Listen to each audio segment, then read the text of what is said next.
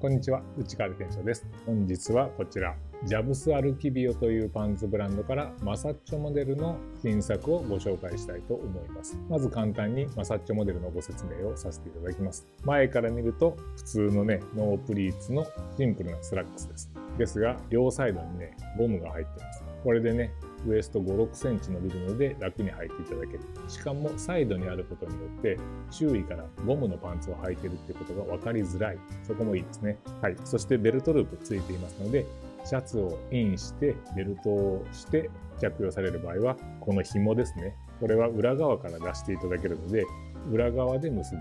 そしてベルトをしないよっていう時ですね。そんな時は前で表側で結んでいただく。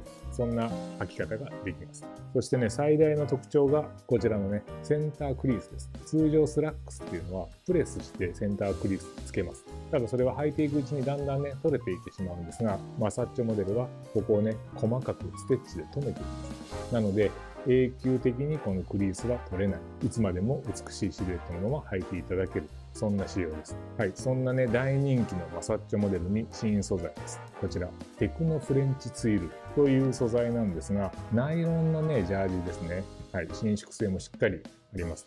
そして薄い、軽い、真夏でも履いていただけるようなさらっとしたナイロンです。はい。通常ね、ジャブサルキリオにはナイロン素材多く存在するんですが、このツイル素材ですね、早織りになってます。こういったツイールのナイロンっていうのは今までなくて新しく登場しました。ちょっとね、立体感が出て高級感がある仕上がりになっていると思います。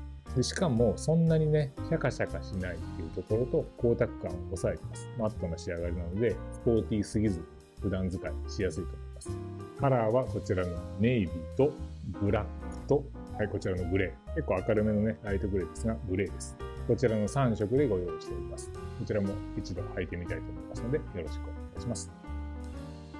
はい、履いてみました。いかがですかね？やっぱりね、シルエット綺麗ですね。細身です。特に膝下にかけてね、シュッとテーパードされてる感じが、ローファーにも合うし、スニーカーにも合わせがいい。休日にはね、もう本当に手放せないパンツとなりました。ストレッチ性もしっかりあります。キックバックもいいので、ちゃんとね、戻ってきますね。ジャブスアルキビオからエクノフレンチツイル新素材です。マサッチモデルでお届けします。ぜひお試しください。